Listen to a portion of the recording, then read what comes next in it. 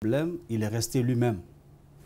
Euh, il arrivait où il signait des traités avec les étrangers, les Français, les Anglais, que ces derniers ne respectaient pas. Et donc, dans les négociations, comme vous l'avez dit, les autres Kiletigi voulaient aussi qu'il use de la fourberie, qu'il use de. Euh, qu'il amadoue ses interlocuteurs. Qu'il utilise les mêmes armes, que, les autres. Il dit non, je suis Mandinka, je ne suis pas l'autre. L'autre ne fera pas que je sois comme lui.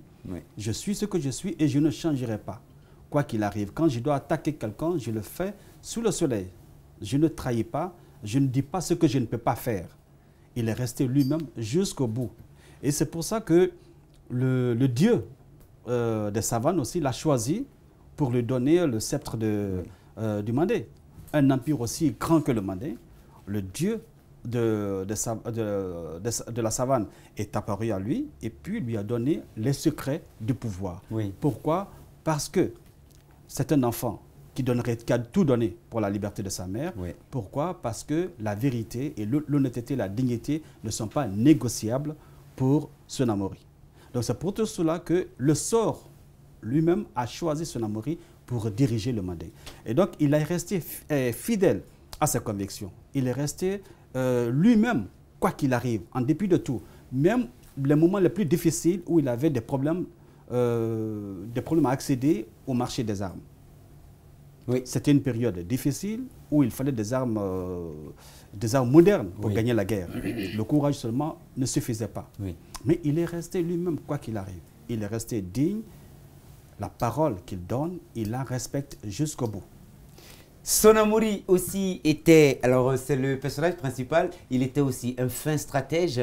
Euh, très rapidement, il a joué sur beaucoup de tableaux pour, euh, pour ces questions de stratégie. Par exemple, Sonamori, sa mère est, du pays Kounia, euh, au moment où il a, on n'a pas parlé de ça, mais en fait, dans le roman, le récit nous, nous apprend, en fait, la, la, on va dire, la dernière épouse, hein, en tout cas la, la, la, la Bodokada euh, du, du, du, du, roi Sissé, qui avait. Keimba. Voilà, c'est Keimba, Keimba, donc euh, la beauté, la grande beauté.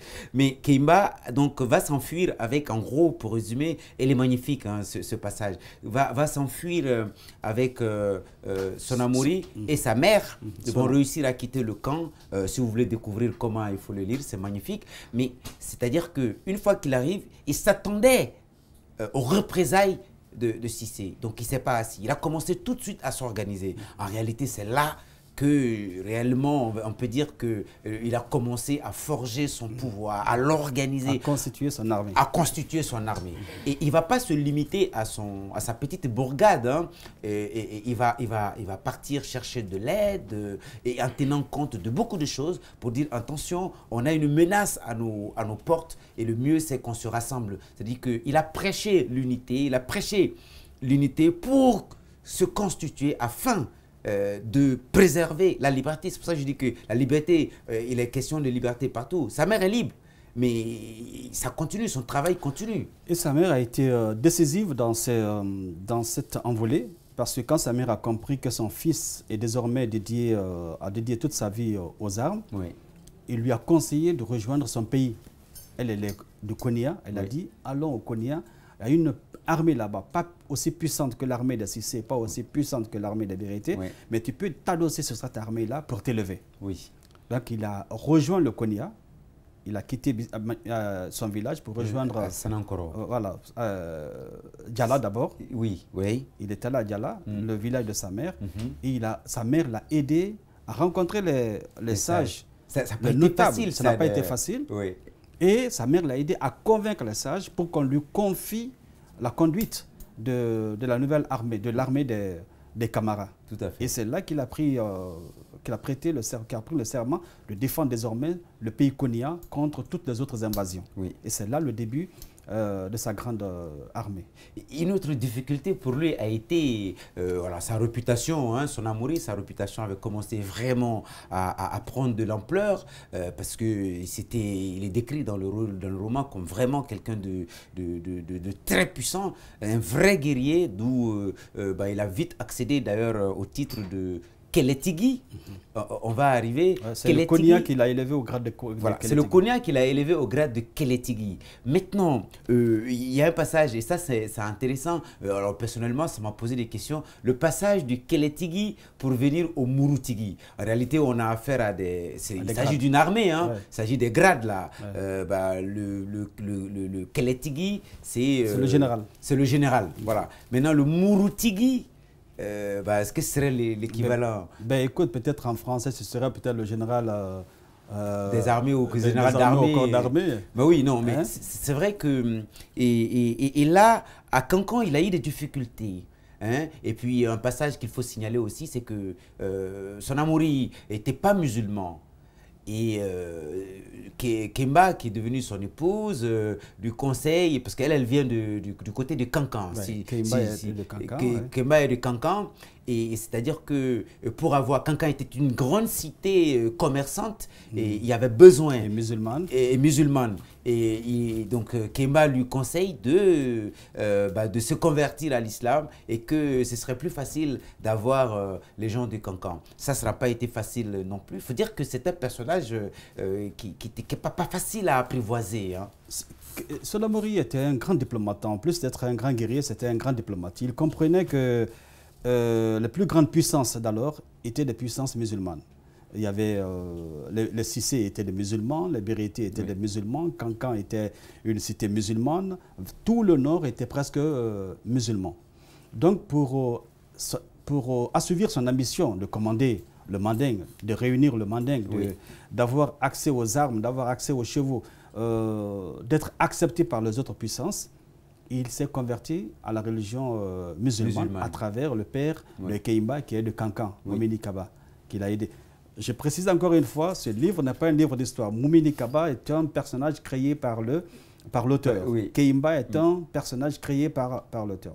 Donc ces deux personnages-là l'ont aidé à, euh, à se convertir à l'islam. Sa conversion à l'islam lui a permis de d'accéder à beaucoup de choses, à être dans les couloirs de toutes les grandes diplomaties d'alors. Oui. Il était présent partout et on le citait partout. Il a développé une vraie diplomatie d'ailleurs euh, euh, à travers ça avec les pays, euh, les pays arabes, ceux du Nord notamment. Ceux du Nord et puis aussi ceux, du, ceux de l'Ouest, hein. le, le, pays, comment on appelle ça?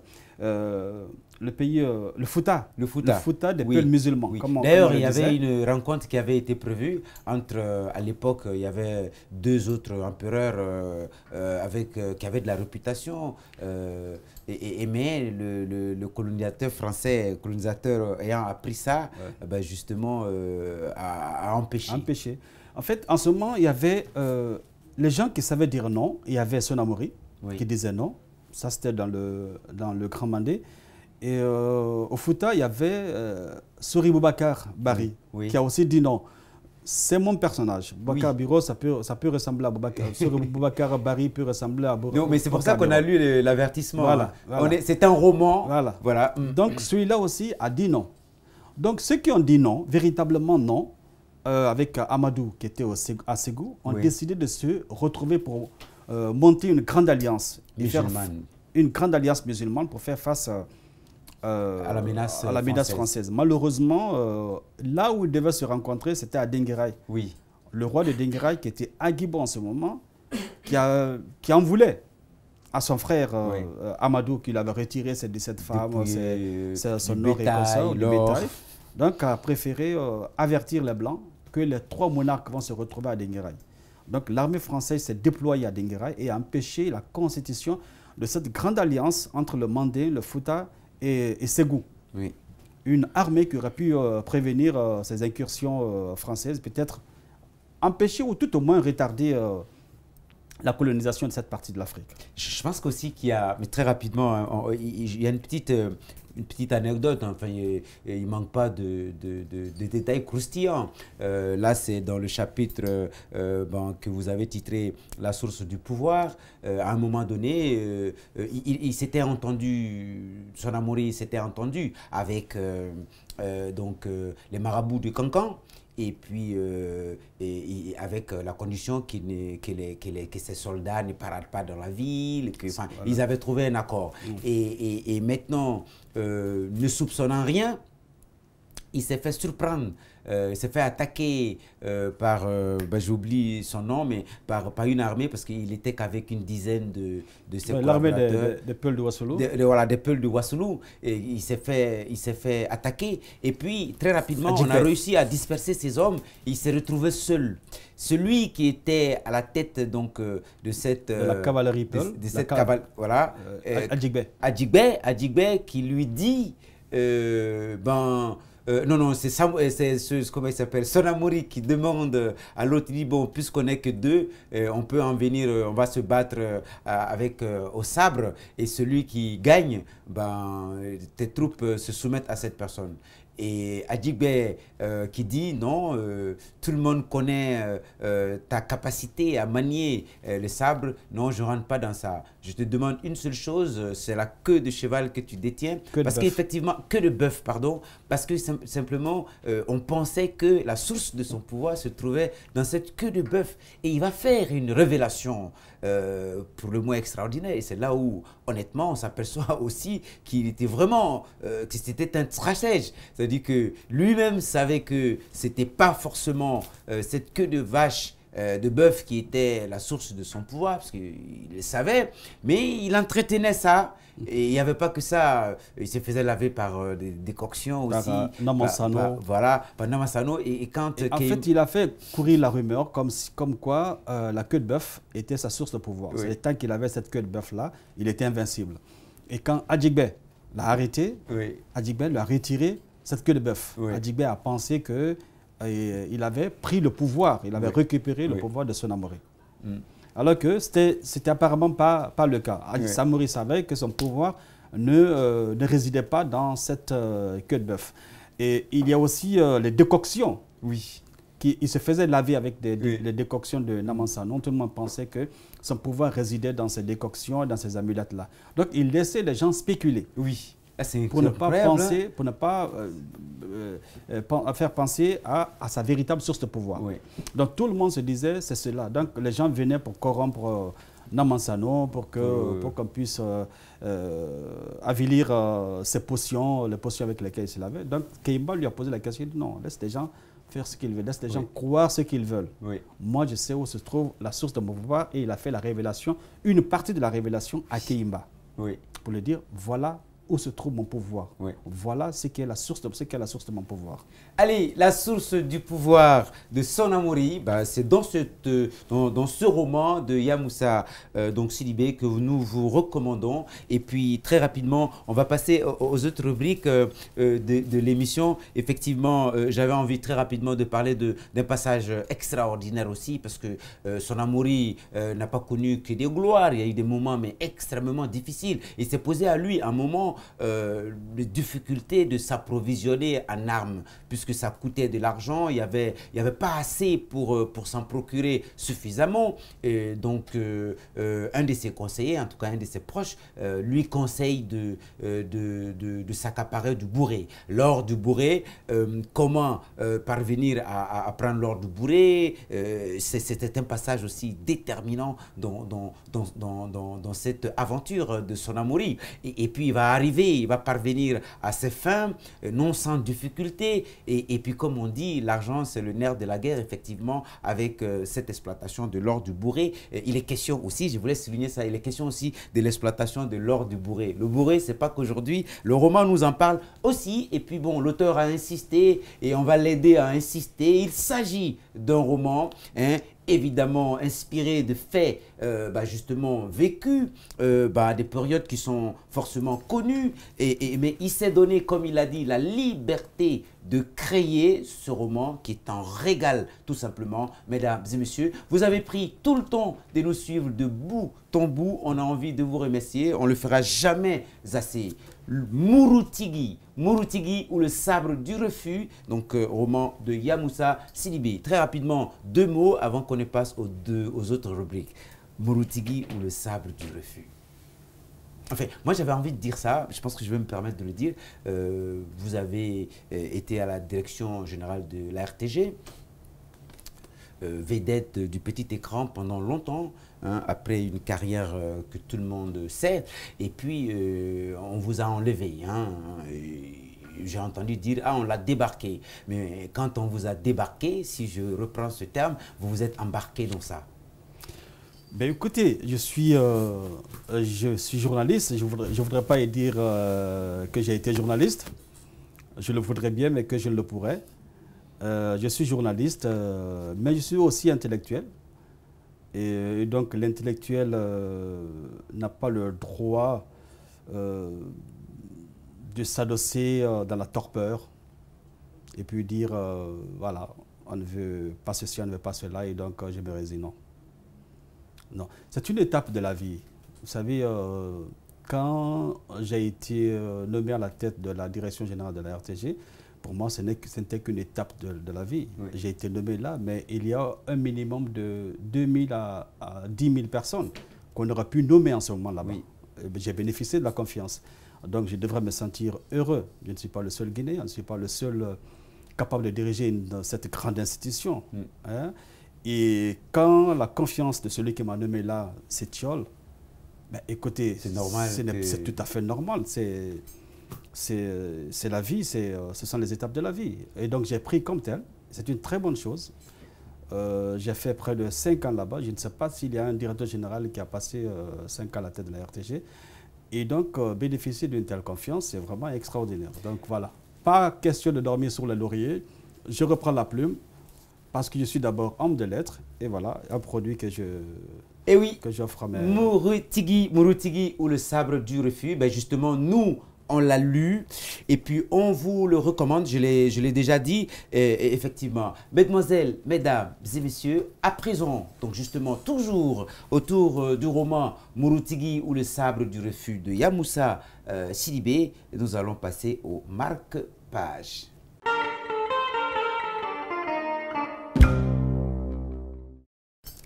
Fabou Touré, le frère cadet de Sonamori le plus orelé de l'armée, s'était rapproché des Karamoko et était curieusement furieux. C'était pourtant un homme discret, qui ne s'exprimait que sur un champ de bataille. C'est la guerre, Nkoro. Et si nous sommes dans cette position difficile, c'est parce que nos adversaires blancs n'ont respecté aucun des engagements signés avec nous. Ils viennent de violer le traité de Nyako. Ce sont des gens qui ne nous respectent pas. C'est comme ça qu'ils gagnent les batailles. Ils ne respectent rien et nous, nous, restons liés par notre parole. Le temps change, les temps changent ou doivent changer. Aujourd'hui, nous devons assimiler qu'il n'y a pas que les seules armes pour gagner la guerre. Son amoureux comprenait bien l'irritation qui sourdait des propos de ses compagnons, mais, mais ne céda pas. Je vous comprends. Mais vous savez, nous ne sommes pas obligés de donner notre parole. Mais si nous le faisons, nous la respecterons. Il n'y a rien de plus important que l'honneur et la dignité, dites-vous. Enfin, c'est ce qui fait la grandeur du Mandé. Karamoko Touré trépignait, mais se garda de parler. Oudia Sedou, qui ne pardonnait pas aux Européens la perte de la route du Libéria et de la Sierra Leone, laissa exploser sa rancœur dans le récit, c'est des moments un peu difficiles, hein. presque un conseil de guerre, euh, on, pourrait dire. Alors, marque-page suivant, page numéro 17, donc euh, de Morotigui ou le refus du sabre. Page 17, allez, on y est. Voilà, page 17. La captive de Cerebrama. Le ciel était obscur et la terre encore le théâtre de sabbat des sorciers, ces êtres à double vie qui jouent à qui prendra plus de vie.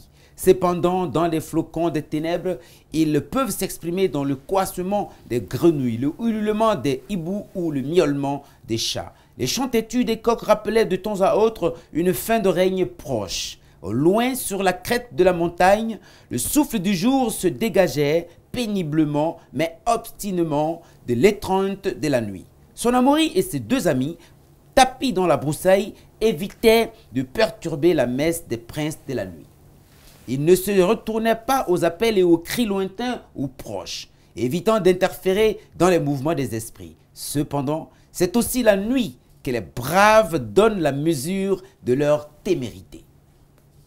Allez, alors on va commencer. C'était ça, c'était le deuxième extrait, mesdames et messieurs, autour euh, donc euh, du roman, le tout nouveau roman de Monsieur Yamoussa Sidibé, notre ami, notre frère, notre grand frère, notre doyen, Morotigui ou le sabre du refus. Alors, un, important récit qu'il faut absolument découvrir. Page 33, notre troisième et dernier extrait euh, du roman Murutigi ou le refus du sabre. 33, page 33, donc euh, on va... Allez, on y est. Ça, c'est un passage consacré à Keimba, donc la mère de... de pardon, la femme de... De, de Sonamori. Les cultivateurs qui ont consommé mon tabac ont témoigné qu'ils ont été les plus grands laboureurs de leur localité. Et les chasseurs qui ont chiqué mon herbe ont affronté de leurs mains nues les fauves les plus féroces. Le vendeur ressemblait à un lutteur de grande. Alors, c'est magnifique parce que il y a de la création là. Là, vous commencez tout de suite le, le, le paragraphe, le chapitre par, euh, par ces guillemets, hein, euh, bah, qui, qui, nous laisse découvrir euh, les paroles d'un vendeur, un vendeur euh, foula, hein, qui vient du pays du Wassolon pour proposer son tabac dans une cour royale. Et, là, vous fermez les guillemets, et puis ensuite on revient, le vendeur ressemblait à un lutteur. En fait, vous nous surprenez, vous surprenez le, le, le, le lecteur, et, ça c'est agréable. En fait, on, s'amuse, vous vous amusez avec nous, et nous on prend ce plaisir à, à découvrir ce jeu euh, de la plume magnifique. Le vendeur ressemblait à un lutteur. De grande stature, le corps massif avec des bras de boucher, il donnait l'impression d'avoir raté son destin. Les médicaments dans ses mains paraissaient des jouets de tisserand. C'était un foulard ambulant. Dites-vous, il s'arrêta devant la maison du marabout et criait les vertus des produits du Wassoulou, son pays. Keimba ne prêtait pas tout de suite attention à cette voix nasillarde et têtue. Mais l'acharnement du crieur la tira de son indolence. Elle lui fit signe d'approcher. La voix du marchand l'amusait. Parle-moi du Wassoulou. Le foula laissait admirer des dents de carnassier, irrégulièrement alignés. Il semblait heureux de parler de son pays. C'est le pays des vrais hommes. Qu'avez-vous donc fait des femmes au Wassoulou? De sa main recourbée, il racla les grosses gouttes de sueur sur le front. Non, je parle des hommes, comme les femmes ne peuvent les imaginer. La confusion du marchand l'amusait. Parle-moi d'autres vertus des médicaments du Wassoulou. Vous savez que sur les champs de bataille, les foulas ne reculent pas. Ils n'ont pas peur. Alors, c'est ceci leur secret. Une bouffée de ce tabac et un morceau de cette tige coincé entre les dents. Et voilà les hommes qui se transforment, qui définissent leur destin et celui des autres. Hein? Et, puis ça continue. Alors, mesdemoiselles, mesdames et messieurs, bah justement, vous savez comment ça fonctionne. À présent, nous allons passer aux questions que les téléspectateurs posent à notre auteur. C'est parti.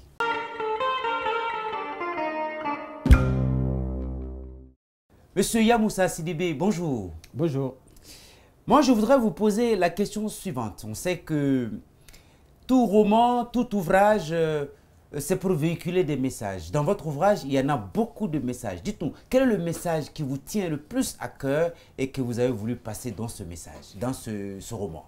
Qu'avons-nous fait de notre destin? Qu'avons-nous fait de notre vie? Euh, Vous savez, on peut parler euh, d'aujourd'hui en se réfugiant dans le passé. Nous avons dit non au 28 septembre 1958. La Côte d'Ivoire, le Sénégal ont dit oui euh, à cette période, à ce référendum. Mais comment comprendre aujourd'hui que nos enfants, pour chercher euh, l'éducation, l'enseignement, pour chercher le bonheur, entre guillemets, vont dans ces pays?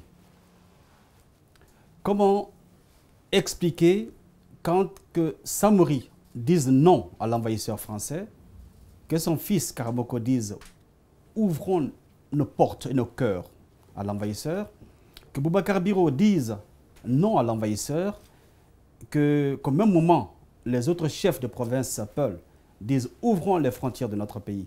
Qui a raison finalement? Avons-nous eu raison de choisir notre voie? Je n'ai pas cherché à répondre à la question dans ce roman. Je voudrais qu'on réfléchisse un peu. Avons-nous mal géré le geste du 28 septembre? Avons-nous mal géré les gestes de, de Samori de Boubacar Biro? Ou bien les adversaires, leurs adversaires avaient raison? C'est quelque chose que je pose, auquel je ne réponds pas dans le livre. Je voudrais qu'on réfléchisse simplement. Il fut un moment où pour avoir le bonheur en Guinée, on va en Côte d'Ivoire. Pour avoir le bonheur euh, en Guinée, on va au Sénégal. Qu'est-ce qui se passe? C'est cette réflexion-là, c'est ce titillement de l'intelligence de l'autre que je voulais faire dans ce roman aussi. Yamoussa Sidibé, merci. Bonjour, euh, Monsieur Sidibé. Bonjour. Je vous remercie d'abord euh, pour cet ouvrage, Murutigi ou le sabre du Réfi. Alors dites-nous, pourquoi avoir choisi le titre Murutigi? Parce que le héros du roman euh, avait le grade le plus important de l'armée du Mandé. Euh, le grade le plus important, comme lui-même l'a déclaré, c'est le grade de Murutigi. Le maître du sabre, littéralement le maître du couteau. Mais dans l'armée, on dit le maître du sabre. C'est le grade le plus élevé. Pourquoi le sabre du refus? Quand on dit non, il faut se donner les moyens de dire non. Et ce moyen au Murutigi de dire non à ceux qui ne veulent pas, c'était le sabre. Monsieur Yamoussa Sidibé, bonjour. Bonjour. Moi, ma question est la suivante. Je voudrais savoir, s'il vous avait été demandé de résumer votre roman en trois phrases, que diriez-vous? Quand tu ne veux pas, tu dis non. Et se donner les, les moyens de dire non. Se battre pour résister, quoi qu'il arrive, à rester euh, à respecter son choix. Monsieur Yamoussa Sidibé, merci. Je vous remercie.